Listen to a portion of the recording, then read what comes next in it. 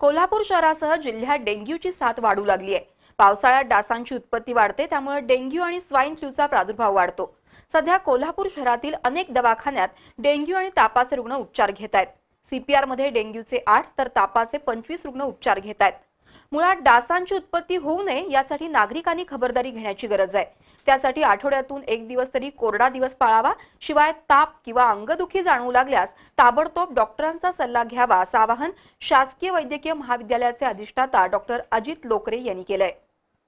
पावसाळ्यात डासांची उत्पत्ती मोठ्या प्रमाणात होते. त्यामुळे डेंग्यू स्वाईन फ्ल्यू आणि मलेरिया अशा साथीच्या रोगांचा प्रादुर्भाव वाढतो. अशुद्ध पाण्यामुळे कावीळ आणि अतिसार सारखे रोग डोकं वर काढतात. सध्या कोल्हापूर शहरासह जिल्ह्यात डेंग्यूची साथ झपाट्यानं पसरतीये. स्वच्छ आणि साठलेल्या पाण्यात डेंग्यूच्या डासांची उत्पत्ती होते. त्यामुळं घरात किंवा घराच्या परिसरात पाणी साठून राहणार नाही याची काळजी घेणं आवश्यक असतं. सध्या कळंब्यात डेंग्यूची साथ पसरली असून अनेक घरांमध्ये तापाचे रुग्ण आढळून आलेत. आता कोल्हापूर शहराच्या अन्य भागातही डेंग्यू डेंग्यूचे रुग्ण आढळून येत आहेत. सीपीआरमध्ये सध्या डेंग्यूचे आठ रुग्ण उपचार घेत आहेत तर तापाचे पंचवीस रुग्ण दाखल झालेत. जिल्ह्यातील सर्वच भागातून सीपीआरमध्ये रुग्णांची संख्या वाढत असल्यामुळं बेडची संख्या अपुरी पडतीये. त्यामुळं जमिनीवरच गादी टाकून दाटी वाटीनं रुग्णांना दाखल करून घेतलंय. सीपीआरमध्ये डेंग्यूच्या सर्व तपासण्या आणि औषधोपचार पूर्णपणे मोफत केले जातात. त्यामुळं रुग्णही बरे होतात. वास्तविक डेंग्यू हा जीवघेणा रोग आहे. डोकेदुखी अंगदुखी आणि ताप अशी या रोगाची लक्षणं असून अति अंगदुखी ताप येणाऱ्या रुग्णांनी आजाराकडे दुर्लक्ष करू नये असं आवाहन शासकीय वैद्यकीय महाविद्यालयाचे डॉक्टर महेंद्र बनसोडे यांनी केलंय. सध्या C P R hospital Kolhapur येथे अंदाजे पंचवीस रुग्ण तापाचे ॲडमिट आहेत. त्यापैकी सहा रुग्ण डेंग्यूचे हे फिमेल मेडिकल वॉर्डमध्ये आणि दोन हे मेल मेडिकल वॉर्डमध्ये ॲडमिट आहेत. डेंग्यूसाठी आपण काही काळजी घेतली पाहिजे. सध्या जे काही रुग्ण ॲडमिट आहेत डेंग्यूच्या तपासण्या सर्व इथं होतात डेंग्यूचे सर्व उपचार इथे आपल्या सी पी आरमध्ये होतात. पण पावसाळ्यामुळं तापाचे रुग्ण आणि इतर रुग्णही गॅस्ट्रोचे रुग्ण इतर रुग्णही फार वाढत आहेत. त्यामुळं सी पी आर हॉस्पिटलवर आता बोजा वाढत आहे. मी फक्त नागरिकांना एवढंच आवाहन करतो.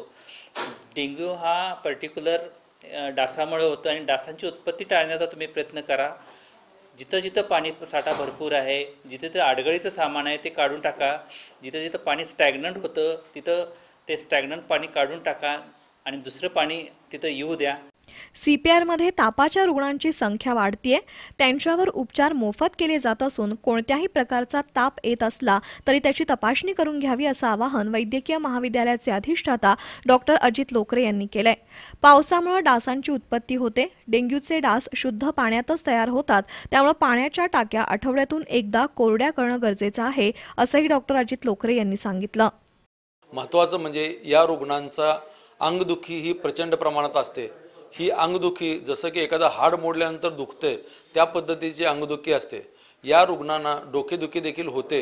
ही डोकेदुखी ही विशेष करून डोळ्याच्या वरील भागामध्ये ही डोकेदुखी जास्त असते. विशेष म्हणजे या रुग्णा अशा ताप आल्यास व अशी अंगदुखी आल्यास रुग्णांनी अंगावरती न काढता दोन ते तीन दिवसाच्या अगोदर पटकन जाऊन डॉक्टरना दाखवणे आवश्यक आहे. विशेष करून ज्यावेळेस अंगावरती बाकी बारीक पुरळ किंवा चट्टे उमटतील जेव्हा ग्लानी आल्यासारखे होईल जेव्हा चक्कर यायला स- लागेल व प्रचंड प्रमाणात ज्यावेळेस अशक्तपणा जाणवेल अशा वेळेस रुग्णांनी अंगावरती न काढता व मेडिकलमधून परस्पर गोळ्या न घेता विशेष तज्ज्ञ डॉक्टरांना दाखवून योग्य तो उपचार घ्यावा. अन्यथा हा ताप जीवघेणा ताप होऊ शकतो. कोल्हापूर महानगरपालिकेनं डेंग्यू साथीच्या पार्श्वभूमीवर शहरात सर्वेक्षण मोहीम सुरू केली आहे. इमारतींच्या बेसमेंटमध्ये साचून राहिलेला पाणी उपसा करावं अन्यथा मिळकत धारकांवर गुन्हे दाखल करण्याचा इशाराही आयुक्त डॉक्टर मल्लीनाथ कलशेट्टी यांनी दिलाय.